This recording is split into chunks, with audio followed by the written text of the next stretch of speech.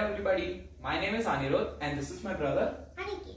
I have been in Shraddha ma'am's class for over 4 years and I have enjoyed her classes thoroughly. I always look forward to her classes. She makes difficult songs that, to, that we play easy for us to understand and play. I have also participated in multiple of her concerts and I am very confident in playing the keyboard anytime and anywhere. I have seen my brother play keyboard for many years. I, I have always wanted to join.